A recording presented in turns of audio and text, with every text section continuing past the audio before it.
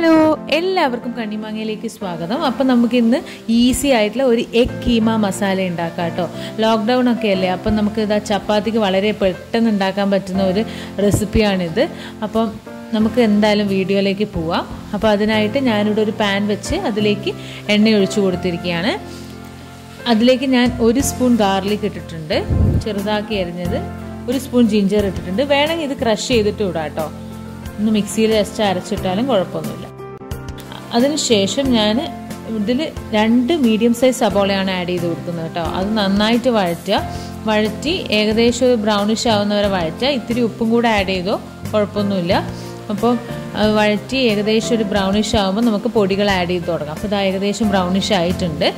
അപ്പം ഞാനിത് ഒരു സ്പൂൺ മുളക് പൊടി ആഡ് ചെയ്തിട്ടുണ്ട്. അതിനുശേഷം ഒരു സ്പൂൺ മല്ലിപ്പൊടി ആഡ് ചെയ്യുന്നുണ്ട്.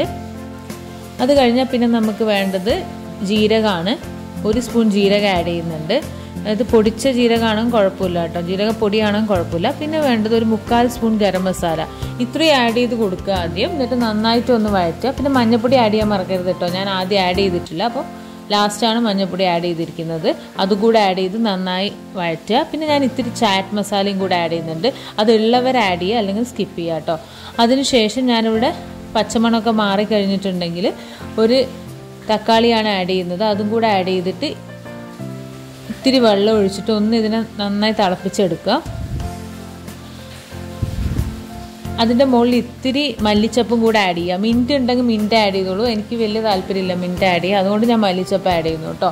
അതിനുശേഷം ഞാനിവിടെ മൂന്ന് മുട്ട പുഴുങ്ങി വെച്ചിട്ട് അതിനെ നന്നായിട്ടൊന്ന് പൊടിക്കുക. ഇതുപോലെ ഫോർക്ക് വെച്ചിട്ട് ഒന്ന് കുത്തി കൊടുത്താൽ മതി. അങ്ങനെ പൊടിഞ്ഞു കിട്ടും. അപ്പോൾ ഇതാ അത് ഇതിലേക്ക് ആഡ് ചെയ്ത് കൊടുത്ത് നന്നായിട്ട് മിക്സ് ചെയ്യാം. ഓക്കെ. നമ്മൾ ഈസി ആയിട്ടുള്ള എക്കീമ റെഡി ആയിട്ടുണ്ട്. ഇത്രയേ ഉള്ളൂ പരിപാടി. വളരെ പെട്ടെന്ന് ഉണ്ടാക്കാൻ പറ്റും. അപ്പോൾ എന്തായാലും എല്ലാവരും ട്രൈ ചെയ്ത് നോക്കുക. ചപ്പാത്തിയുടെ കൂടെയൊക്കെ ബെസ്റ്റാണ് കഴിക്കാൻ വേണ്ടിയിട്ട്. അപ്പോൾ ഞാനിത് അതിനൊരു പ്ലേറ്റിലേക്ക് മാറ്റിയിട്ടുണ്ട്. അപ്പോൾ വീഡിയോ ഇഷ്ടപ്പെട്ടാൽ തീർച്ചയായും ചാനൽ സബ്സ്ക്രൈബ് ചെയ്യുക. കൂടെ കാണുന്ന ബെല്ലൈക്കൺ കൂടെ പ്രസ് ചെയ്യാൻ മറക്കരുത്. അപ്പോൾ പുതിയൊരു വീഡിയോ ആയി വരുന്നത് വരെ താങ്ക്